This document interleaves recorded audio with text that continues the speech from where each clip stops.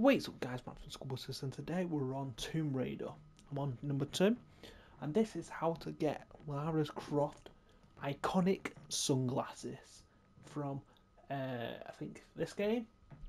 But anyway, so what we need to do first is head over to controls.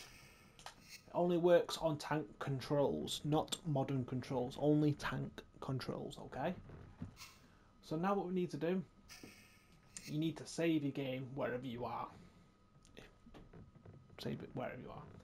Then what you need to do, you need to press load game and then L1 and R1. I don't know what the equivalent is for other uh, like Xbox. Will be RB and LB, I think. And I don't know what it is on PC. Whatever the equivalent is.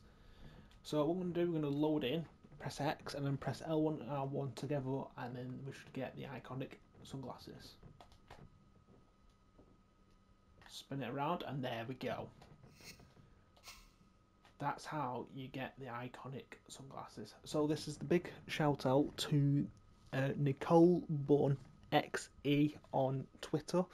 Uh, her name will be in the comments and the description for finding this out. It, it's all down to her. She has found this out and uh, made it public on X or Twitter. So it's the shout out to her. And there we go. That's how you get the sunglasses. So like I said, credit goes to her. There we go. So thank you for tuning in. Stay tuned for more. I will see you all soon. Adios.